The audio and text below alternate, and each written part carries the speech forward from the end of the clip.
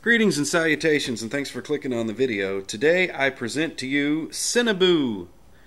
That's what I'm going to call this. If you've been watching the last few videos that I've posted, you know that I've been playing around with Cinnamon on the Ubuntu desktop, or rather on the Ubuntu operating system, the Cinnamon desktop.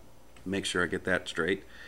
And the last video I posted, I pretty much kind of did my own distribution of Linux or my own spin. I took Ubuntu server and installed the Cinnamon desktop on it to kind of come up with something like Ubuntu GNOME or Ubuntu Mate or Lubuntu or Kubuntu, but with the Cinnamon desktop. And it worked pretty well in the virtual machine. If you look at that last video, you'll see. However, um, I did have a few problems. So I decided, just for fun, that I was going to try and do this on my laptop because I did chased down some of the bugs and I figured, hey, I can make this work.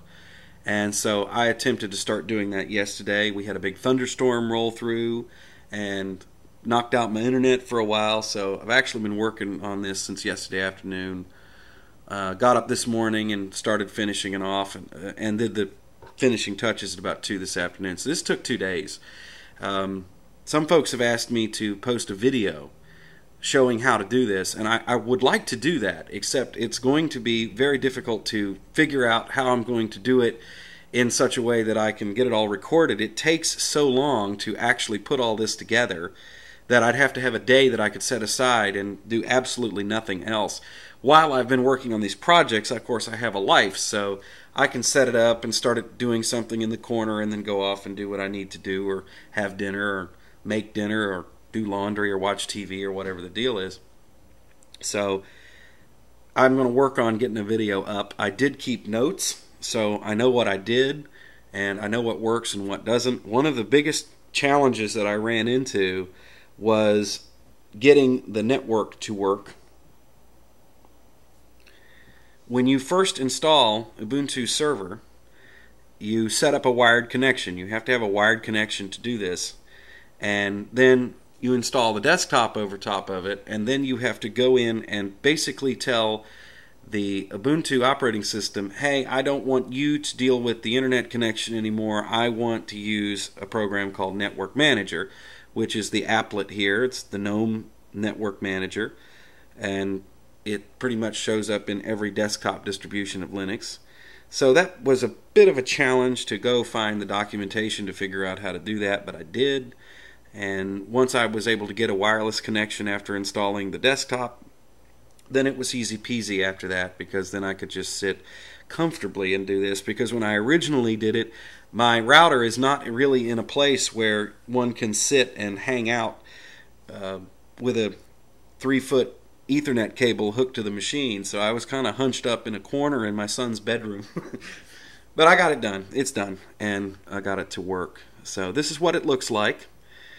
And one of the cool things about this is this is an HP laptop. Uh, it's got a it's got an i5 processor in it. Um, there are some things that I have never been able to get to work with other distributions of Linux. That for some reason, when I installed all everything myself, everything just worked.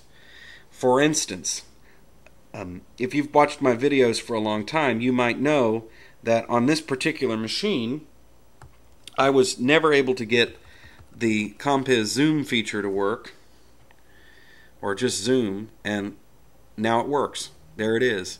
And the reason why you're seeing a big pointer and a little pointer, that's just how the screen capture software works with this. But I'm only seeing one pointer and as I move around the screen. So I was able to get that to work, which is very nice to have that always worked on my other computer no matter what distribution I was running, but not on this one, and this is the first time I've ever been able to make it work. There were a couple of things that I ran into that were kind of interesting lessons I learned the hard way. Like if we go into accessories here, you'll see that we have two programs called files. Well, Cinnamon uses the Nemo desktop or the Nemo file manager, and it looks like this. And then it also, uh, Ubuntu, by default, uses Nautilus, which looks like this, and they're both just called files. If you remove Nautilus from the system and just want to use Nemo, you run into some issues. Now, there is some code that you can hack to make Ubuntu use Nemo exclusively, but after I do that, I still don't know whether it's going to be compatible or not. So therefore, I'm not going. I'm just going to leave them both in. I don't mind. I kind of like having them both around. When Cinnamon first creates the desktop, it does not create all of the familiar folders that we're used to. So you actually have to tell it to do it, or you have to create them manually. So that's one thing that was different. You don't get any wallpapers by default, so you have to download something or import some pictures in the machine and, and choose them. That's fine. Um, and there is still, and I've looked all over the place trying to figure out how to eliminate this. And if you go into administration, Well, actually, let me do a, a search for it. We'll do a search for soft. You'll see you end up with two links to software and updates. I don't know why. They both go to the same thing, but there they are. No biggie, though. And that's only when you search for them, by the way. So it, it's just got it in two places. So there's some little things that if I really, really, really wanted to polish this, I could probably go through and figure all that out. But to tell you the truth, I'm not going to mess with it much because this works and it took me a while to get all the software installed. That's another thing that's interesting about doing this is the fact that you you may think you understand how your Linux distribution works and the workflow that you have and all this stuff. You really learn it when you have to go and pick every piece of software that the machine runs. And not only that, you have to figure out what order to install them so that you have all the dependencies. Because if you get it out of order, then eh, one thing might not work the way you want it to. It's it's really wild, man. And I never knew all this stuff. Now, this leads me to something that a couple of people have said, and then I'm going to wrap this video up. They have said, well, why don't you package this up and redistribute it? And that is not entirely out of the question, and it's something that I'm definitely going to keep in the back of my mind. Number one, I'd have to have a lot of people who are interested in running this to do it. It's really it's really not that revolutionary. It's just Ubuntu with a different desktop. I didn't really change a whole lot about the system. Really what's significant about it is what's not here. Okay? Because a lot of the crap that Ubuntu comes running in the background, I never installed, nor will I install. I don't need it. So, therefore, it does make the system rather snappy. But I actually started to look into it a little bit and I did some research. And one of the things that is going to be a stumbling block to redistributing this as its own distribution is the fact that if you are going to be GNU general public license compliant, one of the things that you have to do is you have to make the source code for every piece of open source software that is in your distribution available somewhere.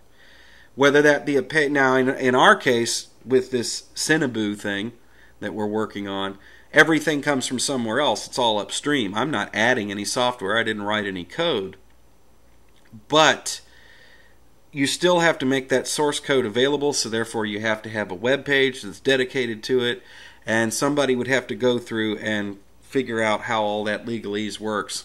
So, yes, the open source software is free to use, it's free to re- redistribute, and yes, you can change it and you can make it your own, as I have done here. However, if I were, were, going to redistribute it in any way, then I would have to. There's certain things I would have to do, or I could be in trouble with copyright infringement. I know that sounds weird, but it's the truth, and that's just how the GNU General Public License works. And if you want to know more about that, I think the person that you need to talk to is Linus Torvalds because he has a lot to say about the uh, GNU public license. Okay, so anyway, that this is CinnUbu gang. This is what it looks like. Pretty basic. And this machine is done. All of the user accounts are created for everybody in the family. It's all here. All of the games are installed for the kids. All of the software I use on a daily basis is here. All of my files are copied back into the machine. And we're going to keep this one for a while. It's not going to change. Um, I actually feel a little bit more secure running it as a server. There's some security things going on in there, like I was talking about getting the network to work. Well, did you know that when you install Ubuntu, Ubuntu server, it sets a policy that no user on the machine can change the settings? I was like, wow, okay, so how does this work? Okay, I had to go figure that out to be able to change the network settings. So it was it was pretty cool. So anyway, gang, uh, thanks for looking at the video. I sure do appreciate it. And everything works exactly the way it's supposed to. I get multiple desktops. Um, I can remove desktops that I don't need, which I want to do here. I want to get that down to two. Um, everything does exactly what it's supposed to do as far as how the Cinnamon desktop works and it's running on a really solid core. I mentioned in my last video that this is running on kernel 316, which is getting all the security updates. I couldn't be happier. This is my uh, OS for my laptop. Now my main machine is going to remain standard Ubuntu 14.04 just with the, the Cinnamon desktop on top of it. Uh, that machine's very complicated and doing what I did to that machine, what I did with this machine, would be a big pain, believe me. So I'm going to let them run just the way they are. Anyhow, I've rambled on long enough. Comments, suggestions, always welcome. Please check out ezeelinux.com if you'd like me to get you started with Linux or help you along. Sure would appreciate it. So, talk to you again soon. Thanks for watching.